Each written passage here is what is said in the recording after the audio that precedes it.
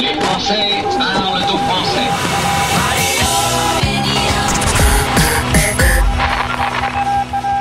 Départ vers la Guadeloupe où on va y retrouver un Français dans le monde, Jude. Jude qui a fait des allers-retours avec euh, la métropole un nombre de fois incalculable. Il va nous raconter pourquoi. Bonjour Jude.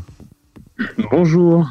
Alors, euh, tu m'as raconté avant de prendre l'antenne euh, que, en effet, à 7 ans, euh, alors que tu es né en Guadeloupe, tu te retrouves à Ouais. Paris pour euh, bah, pour grandir là-bas, et puis que ensuite tu auras quelques voyages, aller quelques voyages retour pour euh, faire tes études, notamment dans la capitale, et avant de revenir t'installer définitivement en Guadeloupe. Enfin, définitivement, on verra bien.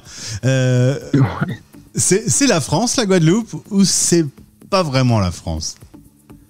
Si, si, la Guadeloupe est, la Guadeloupe est, on est en France, évidemment. Après, euh, on a un rapport euh, un peu, particulier, un peu éloigné, mais sinon, non, non, c'est, la France, évidemment, évidemment. On a tout, tout, ce qui fait la France, on l'a ici. D'accord, ok. Bah, c'est une des questions parce que euh, quand tu grandis à Paris, on est dans un, cadre qui est quand même très différent, hein, on peut dire un peu moins ensoleillé.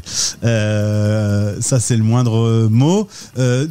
Ton souvenir de Paris, il est, il est, il est comment aujourd'hui tu, tu gardes quelle trace de la capitale Euh, ben moi, je suis très parisien. Euh, j'ai envie de te dire que je suis, je suis parisien et je, suis plus parisien que français d'ailleurs, dans le sens où, euh, voilà, non, je connais très très bien Paris. J'ai tous mes amis à Paris encore euh, et, euh, et je resterai parisien, je pense, jusqu'au bout, quoi.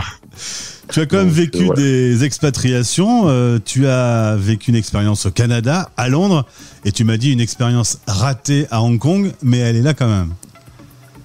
Elle est là quand même et ça m'a beaucoup appris en fait, hein, même même si ça n'a pas duré longtemps et, euh, effectivement euh, j'avais mal préparé mon voyage donc je suis revenu très très rapidement à Paris, mais ça m'a beaucoup beaucoup appris et euh, ça m'a permis de, déjà de de faire un petit changement dans ma carrière.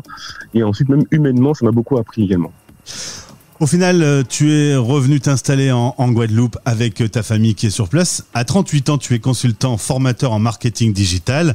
Et on se parle aujourd'hui parce que euh, il y a quelques mois, tu as lancé un podcast que je trouve vachement intéressant qui s'appelle Hors Zone. Est-ce que tu peux expliquer aux auditeurs quel est le principe de ton podcast? Oui, alors le, podcast hors zone, c'est euh, ce, sont- des conversations euh, avec des, personnes qui sont soit des personnes lambda, des artistes, des sportifs, des entrepreneurs qui, ont entrepris ou qui sortent de leur zone de confort au quotidien pour atteindre leurs objectifs.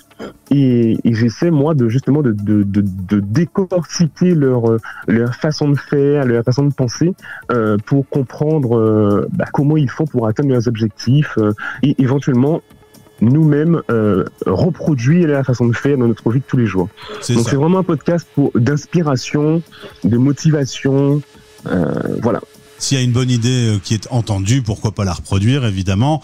Tu as créé une dizaine d'épisodes, t'en sors à peu près un tous les deux mois. Euh, Parle-moi par Ouais. exemple de ton dernier invité euh, pour lui faire un petit CV à l'antenne. Effectivement, alors mon dernier invité, il est super. Il s'appelle Alidou Nombre. Euh, il est chanteur baryton à l'opéra euh, après avoir été ingénieur aéronautique puis banquier d'affaires.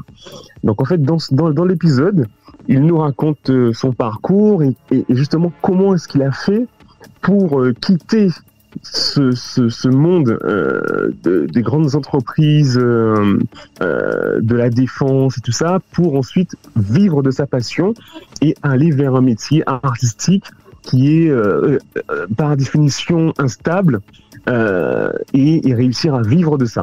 Donc c'est vraiment passionnant. Euh, ça, en plus, Alidou, c'est quelqu'un qui, qui est brillant, donc euh, vraiment, ça, moi, j'ai- pris beaucoup de plaisir à l'enregistrer. Et je pense que c'est que les gens ont aussi beaucoup de plaisir à l'écouter. Comme ça t'est arrivé à toi, que tu as connu cette expérience, est-ce que devenir expatrié, c'est savoir sortir de sa zone de confort? Ah bah tu sais, je pense que dans tous les dès que tu dès que tu dès que tu t'expatries quelque part, tu sors de ta zone de confort. Euh, je veux dire, nous nous nous Guadeloupéens et Antillais en général, quand on quand on voyage vers euh, vers, le national, vers l'hexagone, euh, on a on a cette zone de confort qu'on qu'on doit qu'on doit qu'on doit surpasser puisque on a on quitte notre environnement pour aller autre part.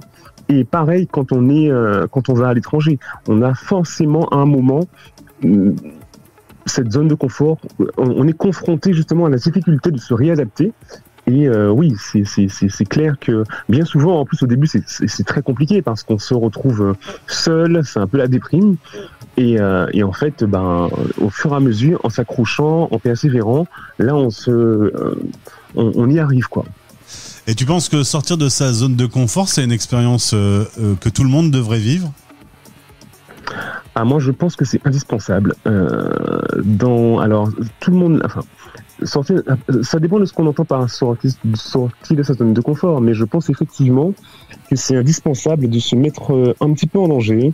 C'est indispensable de, de, de sortir un peu de, du cadre dans lequel on est pour euh, au moins ouvrir son esprit, développer ses compétences et, euh, élargir son, périmètre euh, d'activité, voilà.